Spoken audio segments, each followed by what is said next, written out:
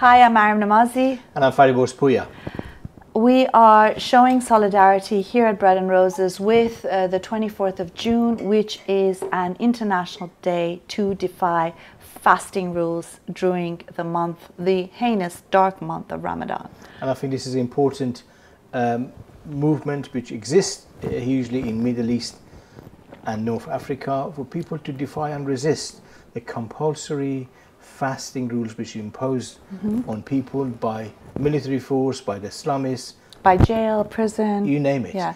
And also, it's an important way of showing solidarity with all of those people who are imprisoned, who are being lashed, who are being fined, and uh, harassed and intimidated uh, for eating during this month. And people shouldn't be duped by you know the whole campaign in the media like Facebook, where they've changed the ribbon and put veil on, on children, which is awful.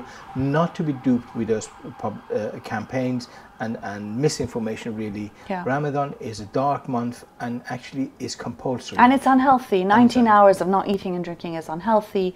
And fine, if some people want to do it, it's fine. Of course, it's their right. But the point is that for a lot of people, it's not a choice. And we want to stand with those people who don't have the choice. Out of public space. That's what we yeah, want. Yeah, exactly. So the thing is that on the 24th of June at 5 p.m. onwards, we will be going to Saudi, Iranian, and other embassies and eating uh, during fasting times.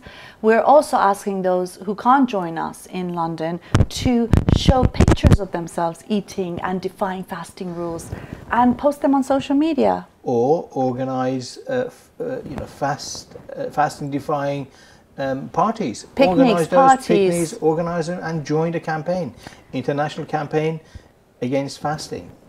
It's like mm, uh, bring, we're bringing light against this darkness. So join us.